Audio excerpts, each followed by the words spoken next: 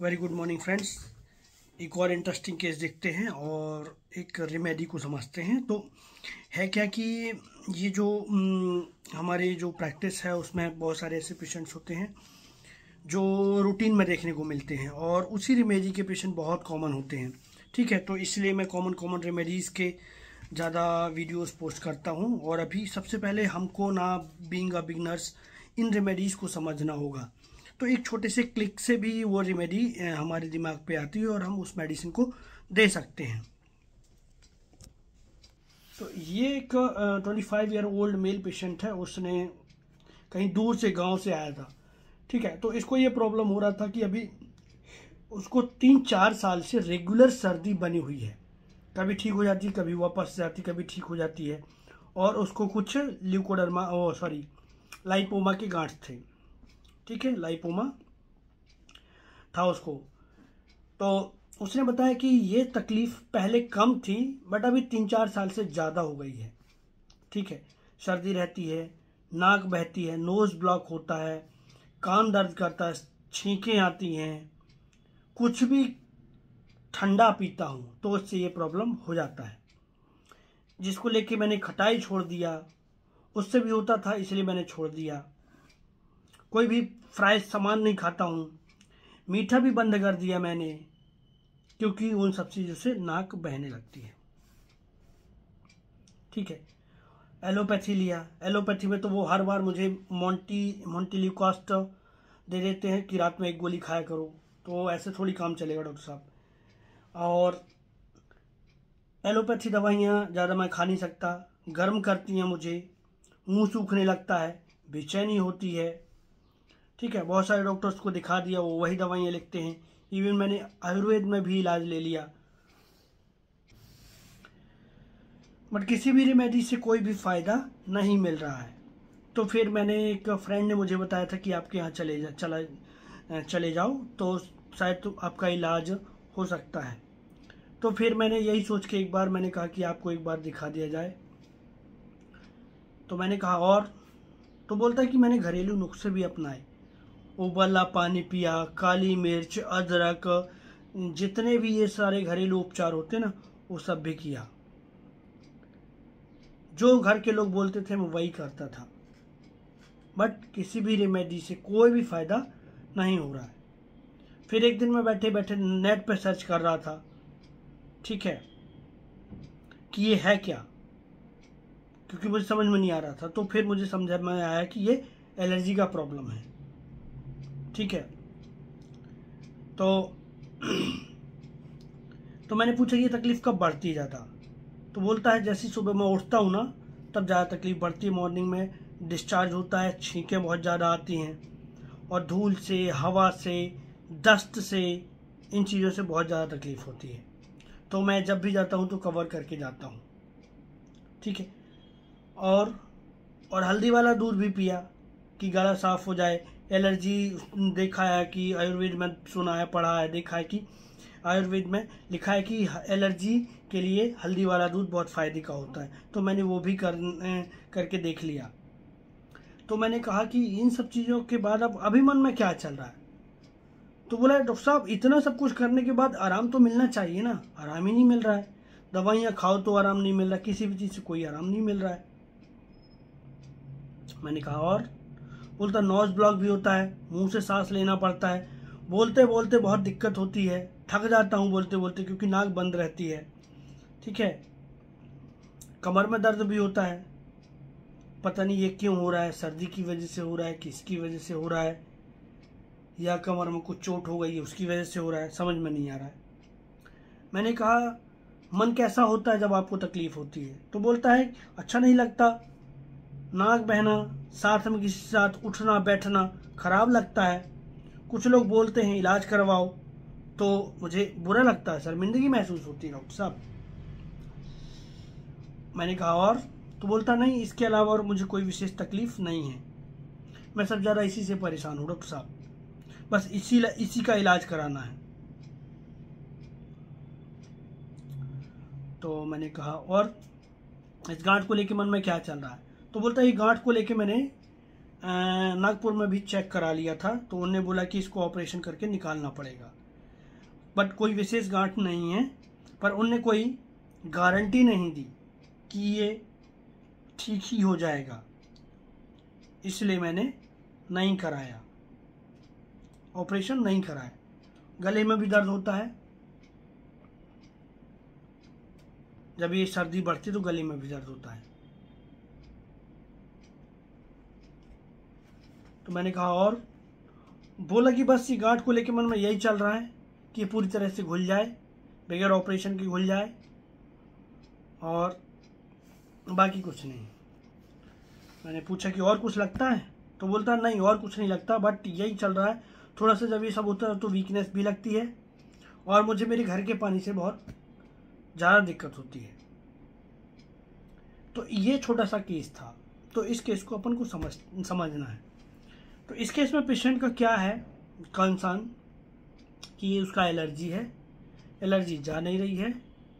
उसकी वजह से उसको ना बहुत बुरा लगता है जब वो कहीं फ्रेंड सर्कल में बैठता है तो। तो एक हमारे पास इंपॉर्टेंट रूप ब्रेक है यहाँ पे। खराब लगता है, बुरा लगता है, लोगों के सामने छींकते रहो, नाक पोसते रहो, है ना? तो जैसे मेरे पास एक पेशेंट और था। डॉक्टर साहब बहुत बुरा लगता है जब मैं ये कान से डिस्चार्ज होता है।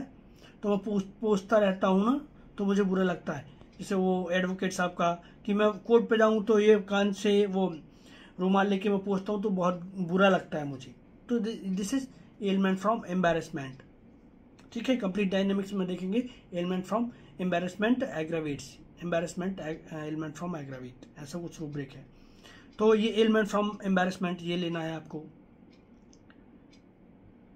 दूसरा delusion injury injured is being by surroundings वो उसको ना आजू बाजू जो आजू बाजू से, पानी से डस्ट से, हवा से ये सब तकलीफ़ होती है। ठीक है? जब मेरे पास भी आया था तो उसने बहुत सारे सवाल किए थे। इवन ये भी पूछा था, आयुर्वेदा, होम्योपैथी में अंतर है क्या? और भी सवाल किए थे तो मैंने फिर लिया था रूब्रिक उसके लिए इंक्विजिटिव और देखिए सीधा सीधा वो कितना ध्यान रख रहा है अपना। ठीक है? कितना केयरफुल बंदा है। कि वो उसने खाना, जिस जिस चीज़ों से उसको तकलीफ़ होती है, उसने वो सारी चीज़ें अवॉइड कर रहा है। ठीक है? और तो वो केयरफुल हो गया। ये है, और एक उसने बोला कि इतना सब कुछ कर लिया तो फ़ायदा तो मिलना चाहिए ना। और आपके पास आए हैं, इसलिए उम्मीद से तो आए हैं कि फ़ायदा तो मिलना चाहिए। तो ये है बिज़नेस टॉक्स ठीक है? इतना रूप ब्रेक लगाने के बाद आपके दिमाग में सिर्फ़ एक ही रेमेडी आएगा वो है हायोसाइमस। ठीक है? तो हायोसाइमस देने के बाद उसको दिया था मैंने पंद्रह दिन का, तीन डोज दिया था। उसके बाद जब वो पेशेंट आया तो उसने बोला कि, डॉक्टर साहब, गांठ में आराम नहीं है, लेकिन उसकी जो सर्दी रिकरेंसी थी और जो खांसी से बहुत ज़्यादा परेशान था तो हमारे पास परेशान था। उसको लेके जब कोई भी समस्या से आप एक लंबे टाइम तक जूझते रहते हैं तो फिर आप परेशान फील करने लगते हैं, अपने आप को तंग फील करने लगते हैं कि वो समस्या आपको तंग कर रही है। तो डिल्यूजन परसिक्यूटेड सीधा रूपरेख है। और वही परेशानी लेकिन लंबे टाइम से चली आ रही है तो फिर आपको एक परस्यूड का फीलिंग आता है। डिल्यूजन परस्यूड कि मतलब वो बीमारी छोड़ ही नहीं रही है। ठीक है? तो उस टाइम पे मैंने इसको हायोसाइमस दिया था। हायोसाइमस से फिफ्टी परसेंट बेटर था। फिर पंद्रह दिन बाद वो फिर से आया। ठीक है? तो पंद्रह दिन बोला कि, सर, अभी तो वैसा ही है। तो मैंने इधर उधर पोटेंसी किया और ये सब किया। इसके बाद फिर मुझे खास रिज़ल्ट नहीं मिला उससे। ठीक है? तो फिर मैंने उसको लैकेसिस दिया इस बार। तो मैं ये कहना चाह रहा हूँ कि जब आपको हायोसाइमस लैकेसिस से रिज़ल्ट ना मिले तो आप हायोसाइमस को सोचिए और हायोसाइमस से रिज़ल्ट ना मिले तो आप लैकेसिस सोचिए, क्योंकि दोनों बहुत बहुत क्लोज रेमेडी हैं। ठीक है? दोनों फियर ऑफ़ बिट्रेड बींग की रेमेडी है सस्पिशियस रेमेडी है इंक्विजिटिव रेमेडी है डिल्यूजन पॉइजन बींग की रेमेडी है।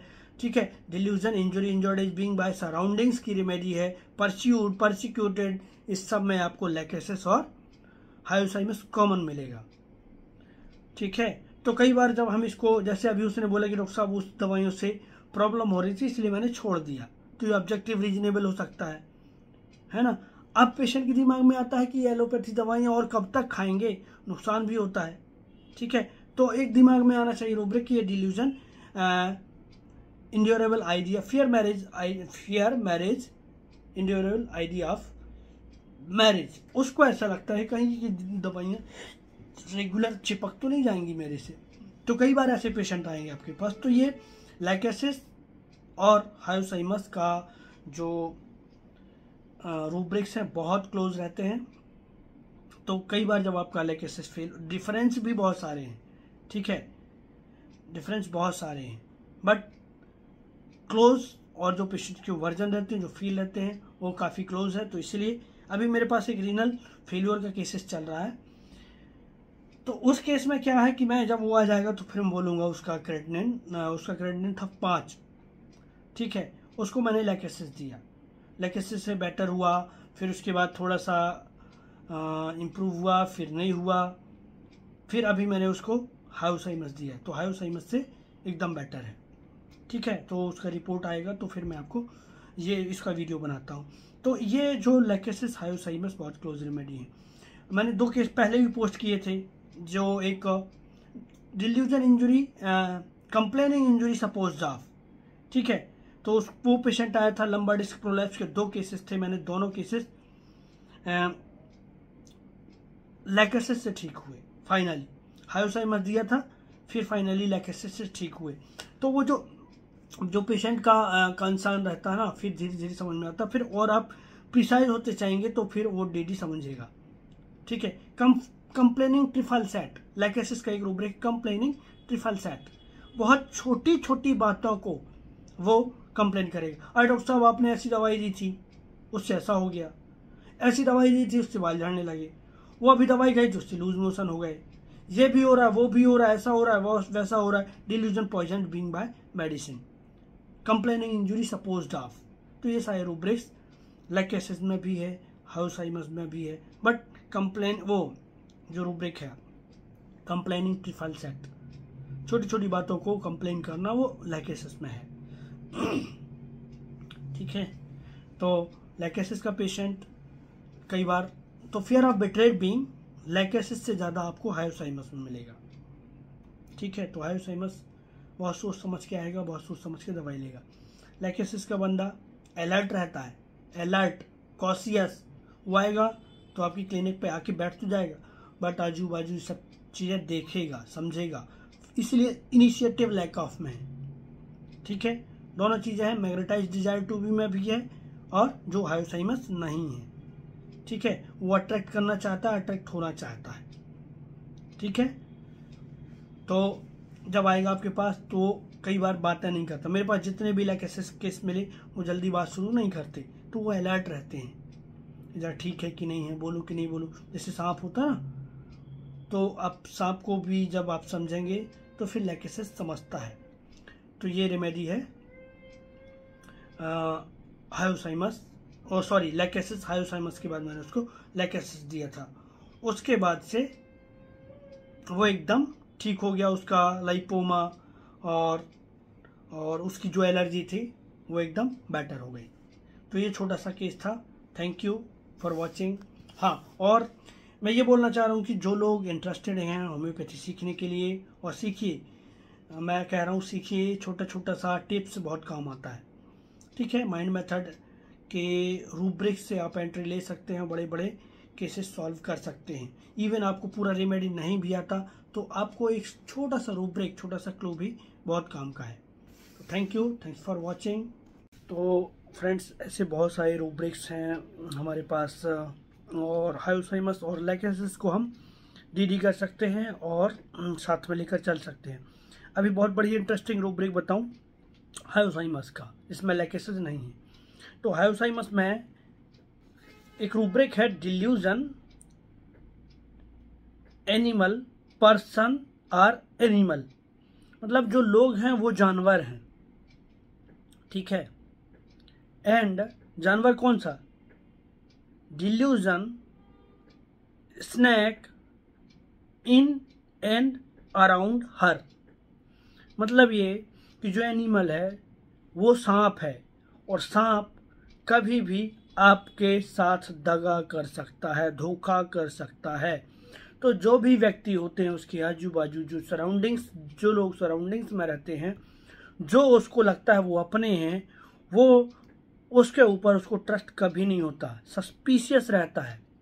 और उसको ऐसा लगता है कि वो तो एनिमल हैं, वो भी सांप हैं, जो कभी भी डस सकते हैं, उसको धोखा दे सकते हैं।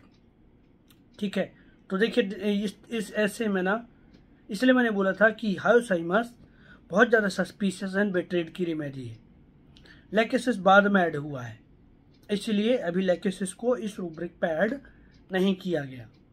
ठीक है अब बिट्रेड बींग का फीलिंग तो और भी रेमेडीज में है जो नया रेमेडी ऐड हुआ है लाइक इग्नेशिया नेट्राम्यूर लैकेसिस ठीक है हायोसाइमस ये एक दो रेमेडी और हैं। तो इस तरीके से हायोसाइमस का पेशेंट ना हायोसाइमस का पेशेंट बहुत तो, आ, बार बार पूछेगा डॉक्टर साहब ये इससे कुछ हो तो नहीं जाएगा ना? इस दवाई से कुछ नुकसान तो नहीं हो जाएगा? एक बहुत बढ़िया रूपरेख है हायोसाइमस का, कि वो इलाज तो लेता है, ठीक है ट्रस्ट कम रहता है, इलाज लेगा, और जब आप कहेंगे ठीक नहीं हो रहा तो क्या करोगे आप?